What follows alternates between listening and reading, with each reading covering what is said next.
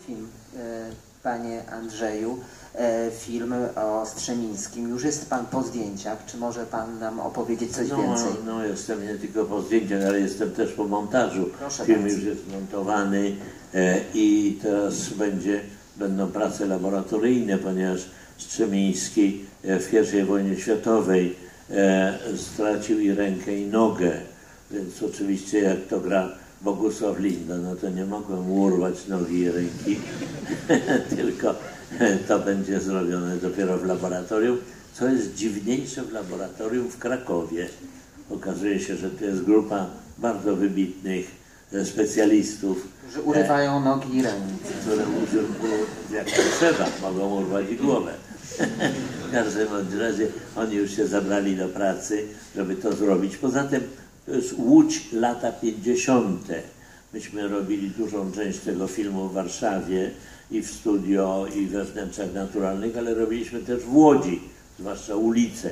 Ja Łódź w 50 latach pamiętam, bo studiowałem wtedy e, w szkole filmowej w Łodzi i pamiętam, że to było tak szare, tak beznadziejne, takie no, miasto po prostu nie do życia. My siedzieliśmy w szkole filmowej, bośmy nieustannie oglądali jakieś filmy i to było nasze życie. E, I mało do tej Łodzi, że tak powiem, wychodziłem. Z Łodzią się zaprzyjaźniłem dopiero jak robiłem Ziemię Obiecaną.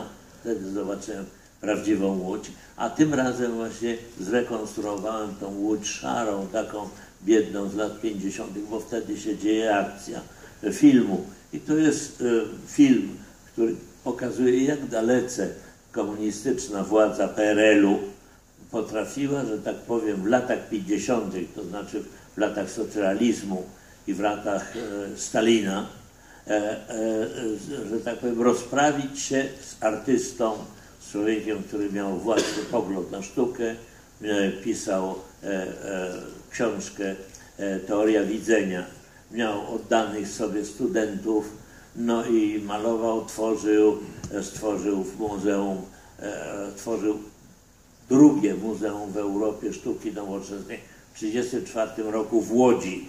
Otworzył Muzeum Sztuki e, Współczesnej, a drugie w Europie, już nie pamiętam gdzie było, a trzecie było w Ameryce. Więc na tyle był progresywnym nie tylko artystą, ale i takim działaczem oddanym słusznej sprawie. W związku z tym pomyślałem, że to jest właśnie może w tej chwili na starość dla mnie dobry temat, żeby przypomnieć, żeby, żeby broń Boże, mówię wyraźnie, broń Boże, żeby się władza jakakolwiek nie wtrącała do sztuki.